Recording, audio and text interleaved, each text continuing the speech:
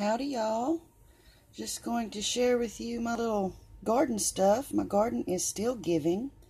I got some green tomatoes, some jalapeno peppers, and some bell peppers. And this pepper is the biggest one that I've gotten so far. So I'm real pleased that it's still doing its thing. Just thought I'd share my little bounty, little autumn harvest with you guys. So thanks for watching, and y'all be sweet.